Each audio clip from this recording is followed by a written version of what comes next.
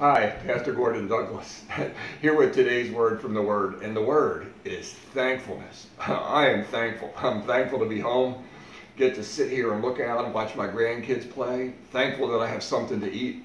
After mission trips that I've taken with Mike Williams down with crossover cups, I'm thankful sometimes. if you could hear in the background, we have a washer and a dryer that takes care of our clothes. Many of the people we help work with down in the Dominican do not have that. We have food in the refrigerator. Now, the people in the Dominican, they don't even have a refrigerator. I'm thankful. I'm thankful for so many things. The Bible says, in everything give thanks. Oh, give thanks to the Lord, for he is good. I'm thankful for my health. I'm thankful for my family. I'm thankful that we got to get away and make memories down at the beach.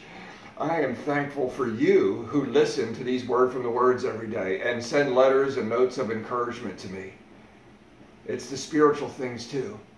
God is good. He said, Be joyful, pray continually, and in everything give thanks to the Lord. Not for everything. There's some bad stuff out there that we need to be thankful that God's getting us through.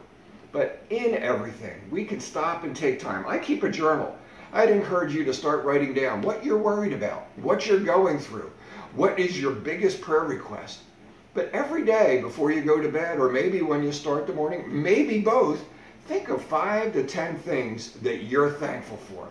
When you develop that attitude of gratitude, I am telling you, it will bring you joy throughout the day. And that is the will of God concerning you. In everything give thanks for that's the will of God. 1 Thessalonians 5.18.